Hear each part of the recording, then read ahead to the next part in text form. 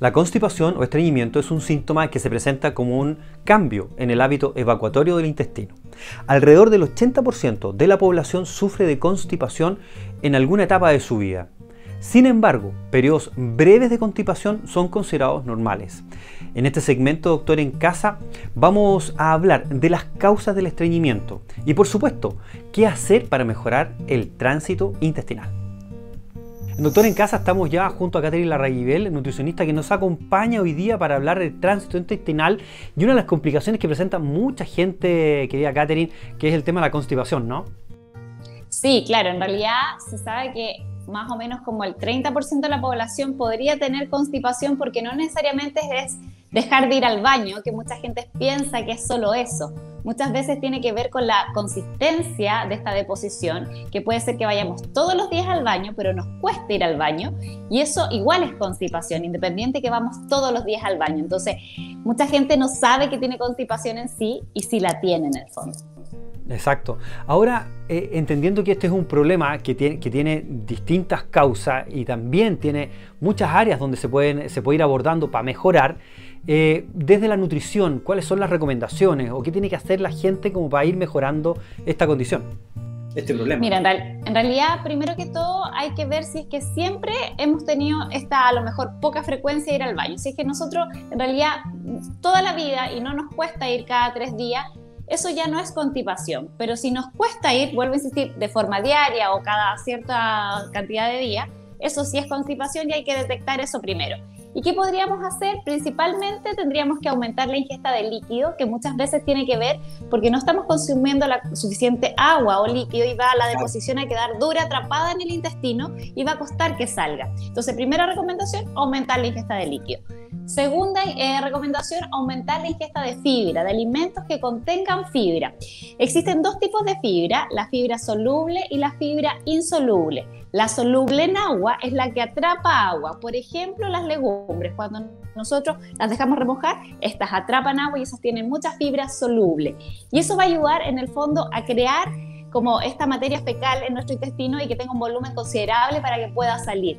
Ahora bien, la fibra insoluble es una fibra que tiene la facultad de bajar el índice glicémico de los alimentos porque arrastra arrastra cosas, en el fondo nos ayuda también a evacuar. Ambas fibras son sumamente importantes y aumentar la ingesta de fibra principalmente la encontramos en fruta y en verdura, en legumbres también en cantidades considerables y en los cereales integrales, sobre todo la avena, por ejemplo la quinoa, el arroz integral, todo ese tipo de alimentos hay que tratar de incorporarlos más a medida que han pasado los años y la vida moderna es como que nos ha ido atrapando un poco, hemos consumido más alimentos procesados que tienen poca fibra. Por eso ha aumentado la incidencia de cáncer de colon, por ejemplo, porque eso hace, al no tener la fibra, que tengamos más riesgo de padecer esta enfermedad por, en el fondo, que queda toda esta materia fecal ahí y cuesta evacuarla en el fondo. Entonces, esas son recomendaciones como en términos dietéticos, pero también recomendaciones que podríamos incorporar algunos suplementos que habitualmente tienen un efecto, entre comillas, medio laxante, como por ejemplo el magnesio. Dentro de los magnesios, que nosotros podríamos decir, todos los tipos de magnesio tienen este efecto, hay otros que tienen un poquito más efecto laxante. Y en realidad para mí es súper importante que entiendan que es un complemento cuando tenemos este problema. No es como consumir el magnesio así porque sí, porque quiero ir al baño muchas veces. Ya es cuando nos cuesta realmente ir al baño, en el fondo deberíamos incorporarlo a, a menos que en el fondo tengamos algún, no tengamos algún problema. Si tú me preguntas cuál es el magnesio que nosotros deberíamos consumir, eh, yo siempre recomiendo los magnesios que no están endulzados con azúcar y que no tienen ciclamato de sodio, porque hay muchos magnesios en el mercado que tienen eh, eh, en el fondo este ciclamato de sodio, que es un tipo, entre comillas, de, de conservante, endulzante, entre comillas, y eso a la larga hace que no sea tan bueno para la salud. De hecho, en algunos países el ciclamato de sodio está prohibido.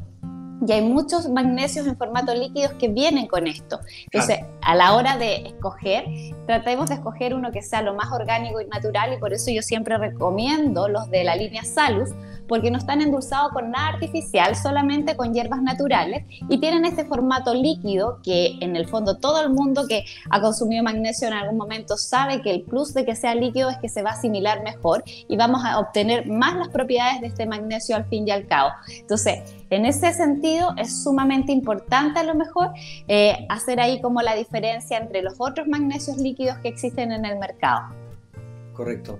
Y una, muy buena opción es, eh, obviamente Salus, ¿no es cierto? Tiene, tiene productos, como tú decías, de, primera calidad, de muy buen nivel, orgánicos y que nos pueden ayudar muchísimo a este tipo de problemas. Fíjate que hacer énfasis también en otras cosas que tienen que ver con el día a día. Uno, hay un reflejo, para que la gente que nos está viendo en la casa entienda, se llama reflejo gastrocólico, que es un reflejo que tenemos generalmente en la mañana y que tenemos que aprovechar. Muchas personas, por apurete en la mañana, porque tienen que salir rápido, tienen que contarse una reunión y un montón de cosas, no hacen caso de ese reflejo. Y yo siempre le digo a la gente, aproveche ese reflejo. Cuando usted sienta ganas en la mañana, tiene que darse el tiempo. O sea, así como tiene tiempo para lavarse los dientes, para tomar el desayuno, tiene que darse el tiempo de sentarse en el baño.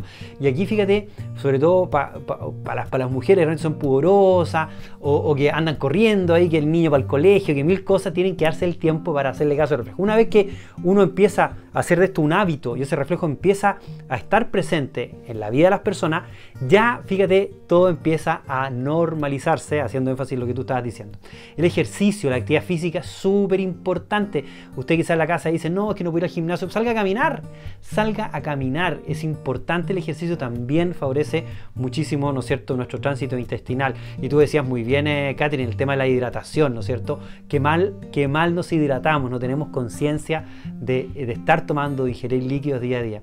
Entonces, junto con lo que tú decías, desde el área de nutrición, de la fibra y todo lo que nos explicaste muy bien hoy día, de estos importantes suplementos que contienen magnesio de muy buena calidad, tenemos que entender que, como al principio de este segmento decía, esto es un problema que tiene un montón de componentes que tenemos que empezar a mirar. ¿Es así, Catherine? Es así. De hecho, justamente las personas que tienen más incidencia de, este, de esta constipación son las mujeres, principalmente porque son más pudorosas, por ejemplo, si van a ir a otro lugar o no van a estar en su casa, por lo general inhiben este reflejo que tú dices y eso a la larga crea la constipación. Y eso es algo que le tenemos que transmitir también a nuestros hijos en general, que la idea es que este reflejo siempre se respete porque por algo está, como tú bien lo dices. Muy importante.